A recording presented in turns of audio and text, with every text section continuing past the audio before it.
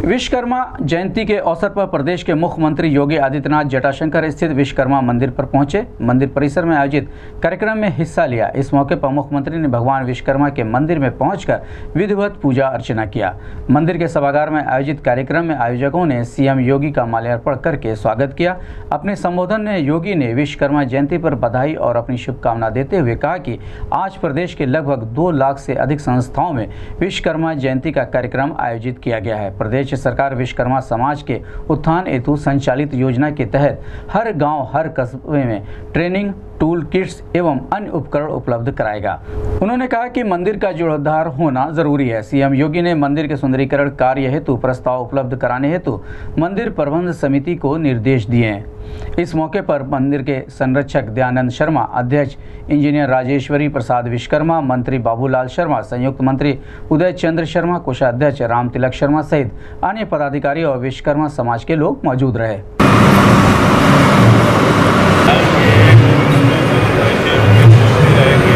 अठासी है।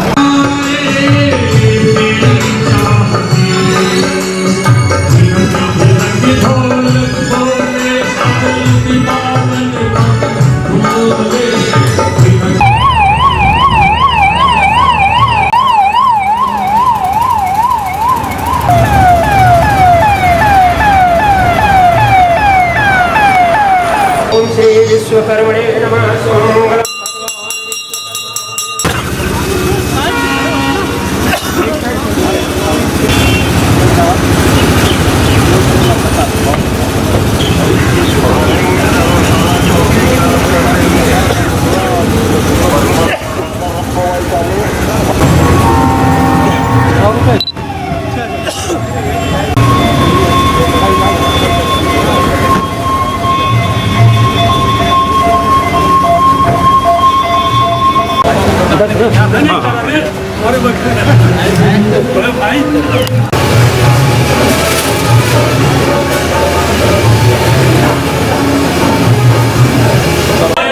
विश्वकर्मा भगवान की पीछे हो। ठीक ओम मंगलव्यासाय सर्वमंगलदायिने सर्वसिद्धिविमात्रे साक्षो जगतां प्रभुं भक्तानां त्वेतार्थाय सर्वकां प्रदां प्रणभ्य विश्वकर्मां त्रलोक्याधिपतिं नमः। ओम श्री विश्वकर्मणे तन्नो धीमहि। विश्वकर्मा परब्रह्म प्रचोदयात्। ओम चन्दनस्य महत्वं पवित्रपापनाशनम् आपदां हरते दीप्तोषि विश्वकर्मणे नमः। ओम यज्ञोपवीतं परमं पवित्रं प्रजापते शैर्यं पुरुषास्त्रायुष्मग्रं माल्यादीनं देव।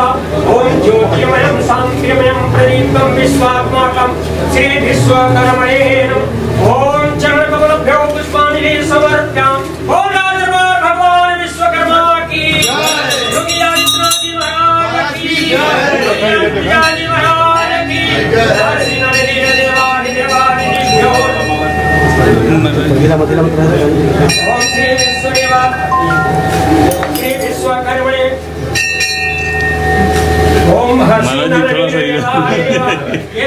की दो सेना नायक थे नील ओम श्री विश्वदेवानिभ्यो नमः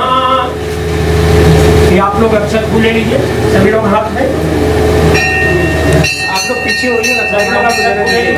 फ़ोटो नहीं बन पाएगी हम लोग सस्ती वाचन बोलेंगे माला के बाद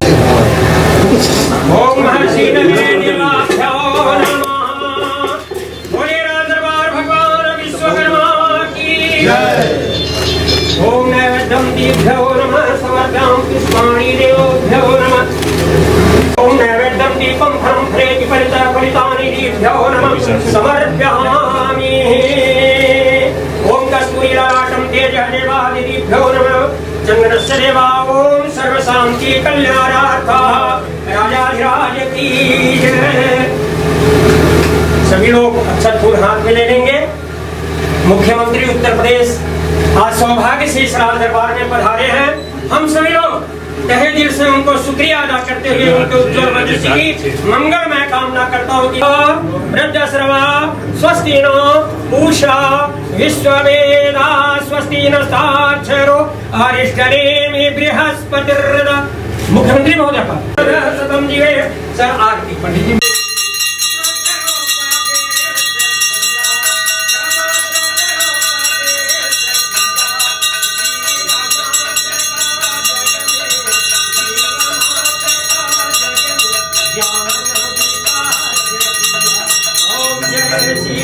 विश्वकर्मा, श्री भगवान की मूर्ति जब विशाल। हरि निज देखिए। जटाशंकर में हम सबके विश्वकर्मा समाज के रक्षक गोरक्ष पीठाधीश्वर उत्तर प्रदेश के लोकप्रिय माननीय मुख्यमंत्री परम पूज्य महाराज श्री का हम विश्वकर्मा समाज के तरफ़ से विश्वकर्मा मंदिर में हार्दिक स्वागत करते हैं माननीय डॉक्टर राधा मोहन दास अग्रवाल जी उपस्थित हैं आपका भी हाथ डॉक्टर धर्मेंद्र सिंह जी उपस्थित हैं उनका हार्दिक स्वागत है महानगर अध्यक्ष राहुल श्रीवास्तव जी का हार्दिक स्वागत है। जिला अध्यक्ष माननीय जनार्दन तिवारी जी का हार्दिक स्वागत। तब से गोरक्ष पीठाधीश्वर महोदय लोगों का कहा है। इतना ही नहीं, प्रत्येक वर्ष श्रावण मास के आखिरी सोमवार को हम सब उज्जैनी के रूप में यहाँ पर श्रावणी पूजन मनाते हैं और अगले दिन मंगलवार को गोरखनाथ मंदिर में रोट स्वरूप प्रसाद चढ़ाकर तत्पश्चात वही वट वृक्ष के नीचे हम सब विश्वकर्मा बंधु बैठते हैं और वहीं से अगले वर्ष विश्वकर्मा बंधुओं का अगले, अगला वर्ष शुरू होता है और वही के योजना अनुसार हम सब पूरे वर्ष समाज के हित में कार्य करते रहते हैं और गोरख पीठ का तो हमको इतना आशीर्वचन मिलता रहता है विश्वकर्मा समाज को, चाहे इस मंदिर पर जब जब कष्ट पड़ा है गोरख पीठ ही इस मंदिर को कष्ट से छुड़ाने का काम किया है। कड़ी में हमारे पिताश्री इस मंदिर के संरक्षक रहे। श्री ओम प्रकाश शर्मा जी से आग्रह है कि माल्यार्पण का स्वागत करें। हमारे पिताश्री का गोरखपीठ से सदैव हो रहा है। गोरखनाथ जी रहते थे, अस्वस्थ होने के पश्चात भी आज उपस्थित हुए हैं। हम संतानी में जाकर स्वागत करें। श्री उपाध्यक्ष रामविलास शर्मा जी से आग्रह है कि आए और माल्यार्पण कर सबको स्वागत करें। आए मतलब माल्यार्पण कर स्वागत करें। लक्ष्मी शर्मा जी आए माल्यार्पण कर स्वागत करें। अनिल शिव कुमार शर्मा जी आए माल्यार्पण कर स्वागत करें। श्री राज तिलक शर्मा जी आए माल्यार्पण कर स्वागत करें। ओम प्रकाश जी। वो प्रकाश शर्मा जी आए और माल्यार्पण कर स्वागत करें रविंद्र प्रताप सिंह राजू जी पूर्व पार्षद पार्षद अनिल सिंह जी पार्षद पिंटू गौड़ जी से आग्रह है कि माल्यार्पण कर स्वागत करें श्री राम कैलाश शर्मा जी, राष्ट्रीय अध्यक्ष विश्वकर्मा संस्थान के आए माल्यार्पण कर स्वागत करें। अब हम कार्यक्रम को आगे ले जाते हुए पूज्य महाराज जी का अति व्यस्त कार्यक्रम है। इस समिति के अध्यक्ष श्री राजेश्वरी प्रसाद शर्मा जी से आग्रह करेंगे। विनोद दुबे जी मंडल अध्यक्ष हैं।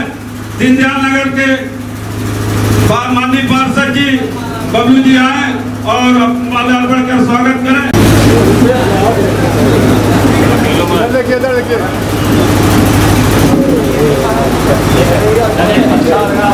विश्वकर्मा जयंती के अवसर पर मैं आप सबको हृदय से बधाई देता हूँ। आप सबके प्रति अपने मंगल में शुभकामनाएँ व्यक्त करता हूँ।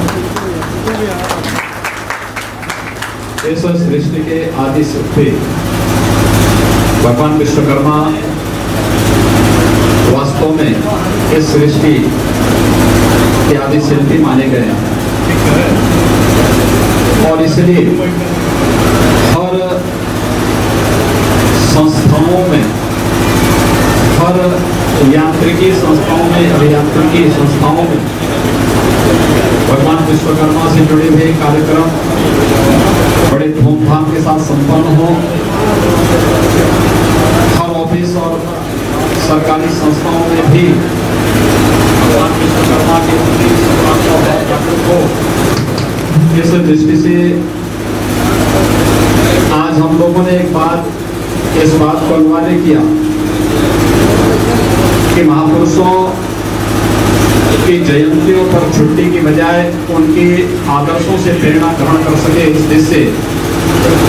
उन कार्यक्रमों को पूरी भव्यता के साथ सभी संस्थाओं में मनाया जाए। और आज मुझे बताते हुए प्रसन्नता है कि उत्तर प्रदेश के दो लाख से अधिक संस्थाओं में भगवान विश्वकर्मा की जयंती के कार्यक्रम बड़े हर्षोल्लास के साथ संपन्न हो रहे हैं, जिनमें भगवान विश्वकर्मा इस सृष्टि के आदि शिल्पी से लेकर के और उनकी परंपरा का जो योगदान रहा है।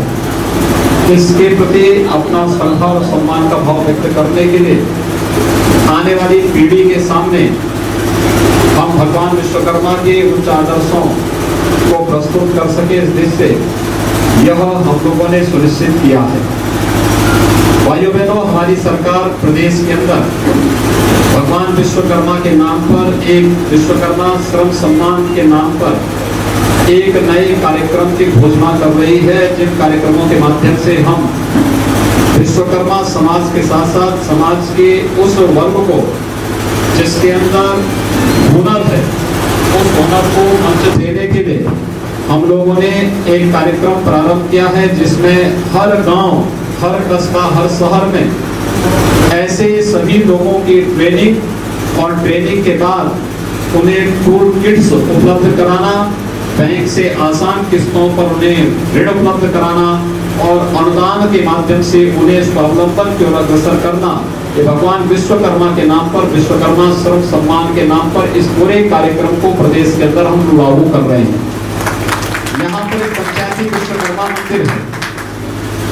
ये पंचायती विश्वकर्मा मंदिर, मैं जानता हूँ कब कब इस पर कितना संकट आया है। श्री दयानंद शर्मा के नेतृत्व में लगातार विश्वकर्मा समाज समाज समाज के लोग सदैव इसके प्रति चैतन्य रहे हैं। मैं चाहूँगा कि यहाँ का एक प्रस्ताव इनको बना के देना चाहिए, जिससे आप विश्वकर्मा समाज से जुड़े हुए लोग हैं। आपने निर्माण तो कर दिया है, लेकिन सुंदरीकरण का कार्य हम लोगों को कराना पड़ेगा। सुंदरीकरण के कार्य को हम लोग यहाँ पे धनराशि उपलब्ध करवाएँगे। इसका एक प्रस्ताव बना करके जितने जल्दी हो सके आप उपलब्ध करवा देंगे। आज के इस अवसर पर मैं एक बार पुनः आप सबको भगवान विश्वकर्मा की इस पावन जयंती पर हृदय से बधाई देता हूँ, अपनी शुभकामनाएँ देता हूँ। हम भगवान विश्वकर्मा के इस संदेश को नवाचार के रूप में, नए अन्वेषण के रूप में, नए अनुसंधान के रूप में और समाज को एक नया जीवन देने के रूप में उपयोगी बना सकेंगे। जिससे आप सबके प्रति मैं अपनी मंगलमय शुभकामनाएँ देता हूँ। धन्यवाद। जय हिंद।